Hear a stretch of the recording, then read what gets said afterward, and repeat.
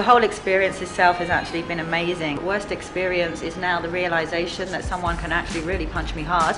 Um, the best experience now is that I realize I can punch back. Social life has taken a major hit. Um, focus is now very much on um, training. Uh, training's tough, but I've never felt better. Getting this far has been an achievement um, in itself for both of us. Um, victories for the taking, may the best girl win.